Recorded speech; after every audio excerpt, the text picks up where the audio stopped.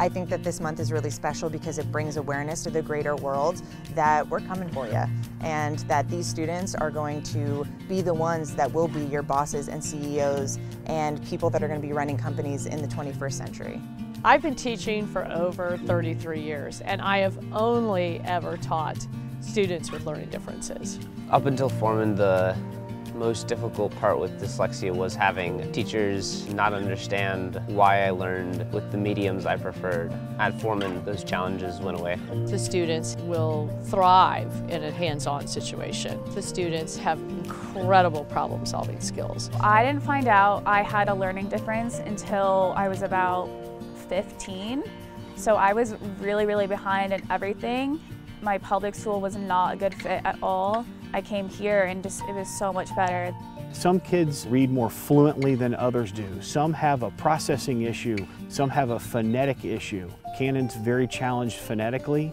They've helped him learn to sort of slow down, think about it differently, process it differently, and come to an understanding about what he's reading through a series of skills that they really work on that help him become a better reader. I think I can relate to the kids because I can feel what they're going through.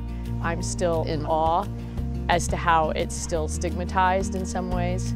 Kids are made to feel stupid when they're actually the problem solvers of the world. Brilliant, creative, amazing.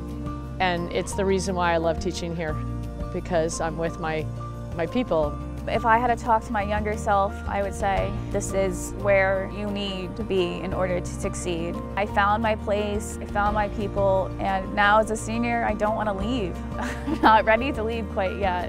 When I came in as a sophomore, I didn't know how to incite change. Senior year me has, has figured that out, how to turn ideas into action. Education is so important to me and I want every child to really have like that sense of belonging in their school district and I understand what that feels like because my family had to fight so hard for me to get the proper education I deserve and now I'm at Forman and I'm flourishing. I wish I had a school like Forman who really helped me understand my learning difference and advocating for myself early on because I think that would have just helped me really complete my natural intrinsic ambition to help me be successful in the greater world.